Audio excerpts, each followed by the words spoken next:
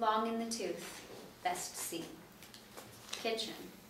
Bo opens the refrigerator and takes out a mason jar filled with crimson colored fluid. He pours some into two shot glasses, then peeks around to make sure no one's looking. He fishes around his breast pocket, removes a plastic baggie of white powder, then pours the powder into each shot glass and stirs them with a spoon. Oh, baby bat, Yeah? I got something for you. What? Tana enters the kitchen and sees the shots of blood. Aha. Kitchen. Bo hands her one of the shot glasses. Let's not fight.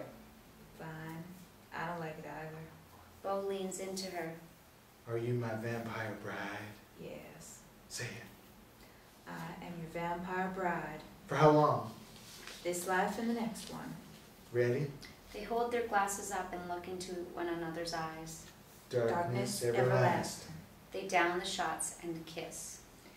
It's freezing in here. I'm getting a sweater. Tana exits the kitchen. Fred enters. Can I trouble you for a glass of water? Bo fills up a glass of water and hands it to Fred, who drinks it. Fred notices the empty glasses with red substance. Gothic techno music creeps into the kitchen. Wine? Bo smirks. Something a little stronger. Meaning what? You might have a heart attack if I told you. Fred fixes Bo with a cool look. Yeah, I've drunk snake wine in China and scorpion vodka in Mexico. I've had hundred-year-old absinthe in Paris. I think I can handle it. Tana re-enters the kitchen. He wants to know what we're drinking. Tana shakes her head. It's human blood. Tana glares at Bo. Human blood? Where'd you get it? Bo shrugs. We didn't kill anybody for it. Yet. Why are you kids drinking blood? You wouldn't understand. Try me. Tana looks at Bo. He shrugs. It has special properties. Like what? Bacteria? Tana rolls her eyes and exits the kitchen. Fred and Bo follow her. I'm sorry, Tana. I, I was concerned. For your safety. Thanks, Grandpa. Fred ignores Bo and turns to Tana. How does it make you feel when you drink it? Amazing. Amazing how? Like you're drinking in the night and you'll never die. Fred's eyes widen. Why? You curious? Interior, kitchen, moments later. Bo covertly adds powder to another shot glass of blood. Interior, living room. Bo enters holding the mason jar of blood. Here you go. Fred takes the glass and looks at Tana. She shrugs. Fred drinks it down and grimaces. He takes deep breaths. Give it some time. Living room, a few minutes later. Fred stands up. He blinks, breathes in and out, nodding his head. He grips and ungrips his hands. Tana and Bo share a look.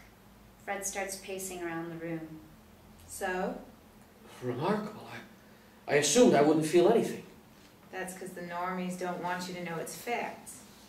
Who are the normies? Normal people. They want you to think blood drinking is for freaks because they don't want you to know the rush it gives you. Fred nods at the mason jar of blood. Another shot of liquid night. Tana hands the shot to Fred. He lifts it to his lips. Wait. Fred pauses. This time you should say something. Like what? We say to darkness everlasting, but you can say whatever you want. Fred considers. To life extended. Fred hesitates, then knocks it back. He grimaces at the strange flavor of the cocktail. Tana smiles. The other goth kids whoop and cheer. Interior living room later. The group, including Fred, sits on the furniture, half watching Nosferatu. Angie gets up and puts on the doors, playing the changeling. Fred gets up and starts pacing around. The Doors, right? You know them? 1967, right? When everyone else was listening to Sergeant Pepper, I was into strange days. TV screen. Nosferatu leans over the sleeping body of Nina. Jim Morrison sings, I'm the air you breathe, the food you eat, friends you meet in the sullen street. Fred gets to his feet and heads off the bath to the bathroom again. Bathroom. Fred finishes peeing into the toilet and flushes. Then he glances at himself in the mirror. See me change. Fred stares into his own eyes. He stands there a moment studying his pupils, bobbing his head to the music. Interior living room. The sounds of the party grow distorted and up-tempo. Bo dances with Angie. Fred stands and reaches for Tana's hand. She lets herself be pulled onto her feet. You know how to rumba? Rumba? No. Nothing to it. Fred pulls Tana to him, then gently spins her. Bo stops dancing with Angie and watches. Tana starts to get into it. Yeah, you've got it. They continue dancing.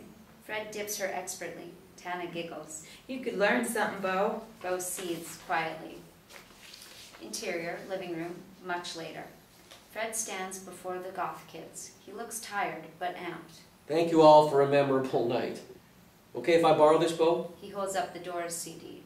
Go nuts, Granddad. Thanks for the ride home, Fred, and for the talk. She gets up and gives him a hug. Fred says his goodnight to Pete and Angie, bows and leaves. He's totally cool, huh? If you're into rotten flesh. Just shut up. Interior, Fred's Oldsmobile, minutes later. Fred drives. The changeling continues to play in the car. Fred pulls up to a red light, idling beside a sports car. Exterior, road, night. The light changes and the sports car guns it. So does Fred. The road begins narrowing to one lane. Both cars bear down, jockeying for position. The sports car wins, barely. At the next light, the young driver, 20s, looks over at Fred and does a double take. When he sees he's been racing an old man, Fred grins and sings along with Jim Morrison. Ch-ch-change.